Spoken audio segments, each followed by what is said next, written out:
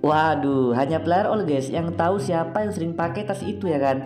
Siapa lagi kalau bukan Bang Cepcil guys. Soalnya menurutku sih dari dulu yang sering pakai tas itu hanya Bang Cepcil guys.